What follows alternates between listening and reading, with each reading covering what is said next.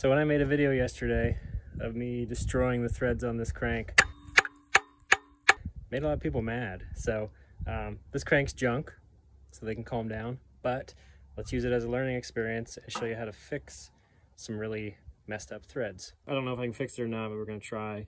I'm gonna take a handy dandy thread file. This is one by New Thread. It's a really nice tool. Um, has all different thread pitches on it. You can get them uh, where it just has one if you have a dedicated file, but I don't do this that often, so a multi-file is nice. I'm gonna use a little Marvels as like a cutting, cleaning oil. Uh, keep a wire brush handy to clear out the threads.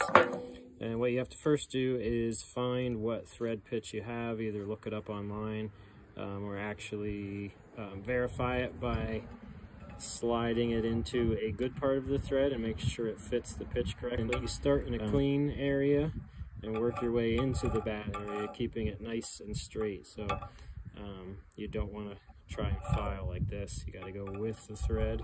It's a slight angle because of the way the threads are cut, but just kind of get it down in there, put a little cutting oil on it, and just start cleaning that out.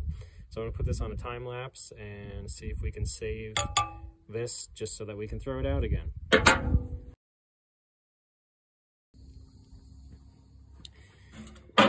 So here are the final results. Um, took me about 15 minutes with the thread file, the or the threads cleaned out as much as I could.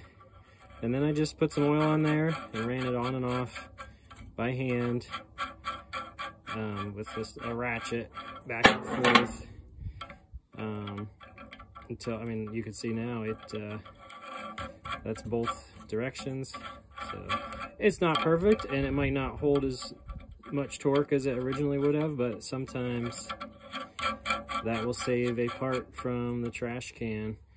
Um, so good old thread file does the trick